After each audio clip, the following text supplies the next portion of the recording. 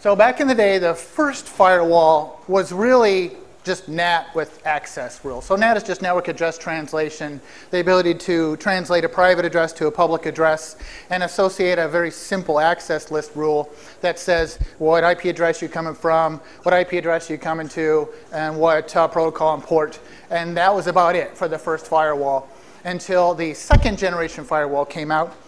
And then they introduced the, uh, the concept of a uh, connection state.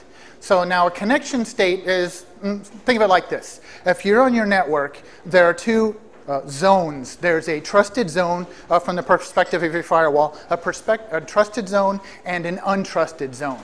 So the trusted zone is permitted to go to the untrusted zone, but the untrusted zone is not permitted to go to the trusted zone unless specified in the configuration right? So this is great in that if you're on your LAN and you're browsing the web, you go out to a web server over the internet and then you have to open a connection to allow that return traffic to come back.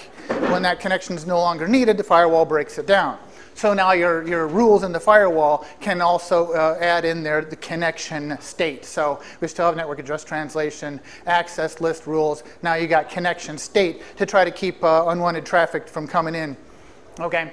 So your third generation firewall introduced application visibility, uh, uh, an application level filter. Now, that in the context of that particular generation of firewall says a lot more than what it actually did. Uh, in, a, in, a, Cisco world, that's uh, what you call inspection. So for a subset of ports and protocols, uh, applications that pertain to those protocols, it understands how those protocols normally work. It knows how FTP works. It knows how uh, you know, email, SMTP works. And if some uh, rogue application tries to hijack one of those ports and protocols and make it behave in a way that it's not supposed to, then your application uh, filter will say, um, that's not quite right. Uh, this, some, this is not supposed to be used like this, and it'll shut down the connection. So again, that was only for a very small subset of well-known applications um, that have to do with that application firewall. And again, it and sort of understands the behavior of how it works uh, and can stop that down, shut it down.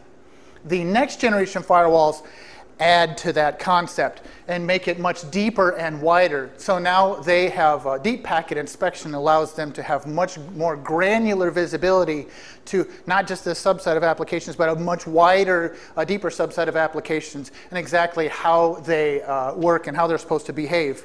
And we'll expand on that quite a bit.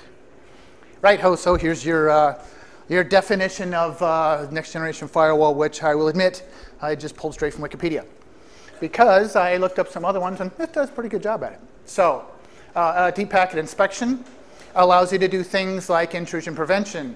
Uh, it allows you to do things like um, um, advanced malware protection or malware protection, um, you know, antivirus, identity management, SSL, encryption, decryption, a lot of features which we'll expand on.